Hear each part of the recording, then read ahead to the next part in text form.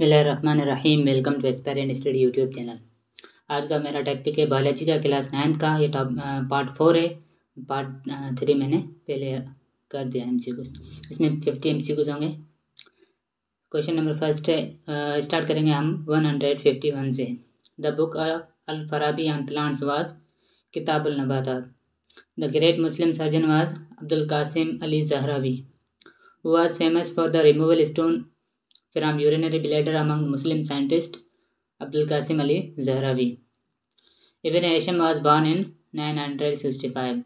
Ibn Hisham was basically ophthalmologist who corrected the concept of Greek vision.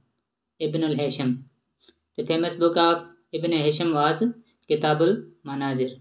The book, the book Mana, uh, Mizanul Hikmah was written by Ibn Hisham. Ali bin Isa was well-known eye specialist. Ali bin Isa described eye diseases 130. Blood circulation in human was first described by Ibn al-Nafis.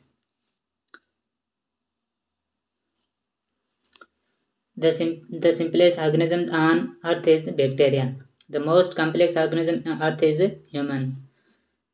The correct sequence of biological, organ biological organization is atom, molecules, organelle, cell, tissue, organ, system and system and organisms. Atom is composed of all of these electron, neutron, proton. The body of organisms are made up of 16 elements. The body of organism are made up of elements. These elements are called bioelements. The most complex of all matter are organism. Only six bio Bioelements O, C, H, N, C, A and P make 10% of protoplasm 99%. Percentage composition of oxygen by mass in, organism in organisms is 65.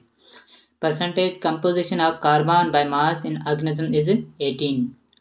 Percentage composition of hydrogen by mass in organism is 10. Percentage composition of nitrogen by mass in organism is 3.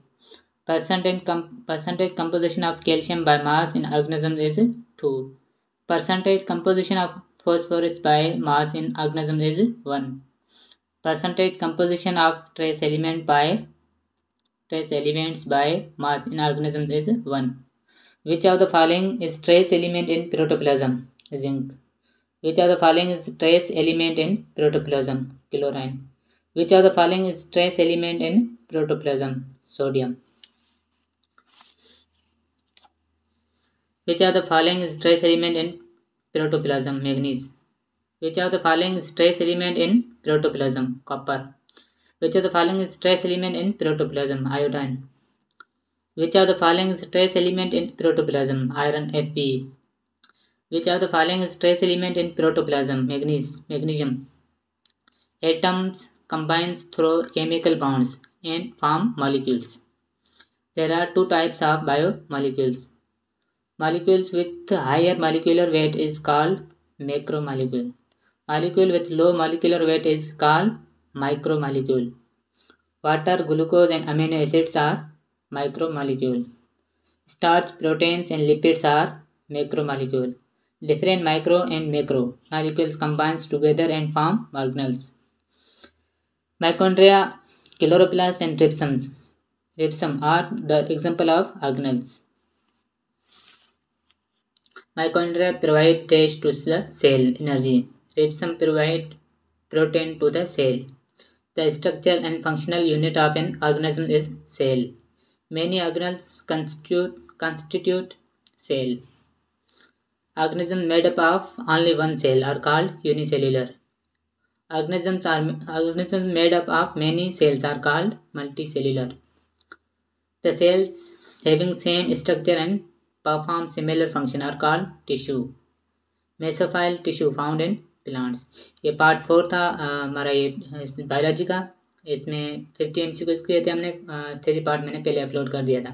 मेरे aspire and study YouTube channel को subscribe करें like करें और अपने दोस्तों के साथ share करें। Thanks for watching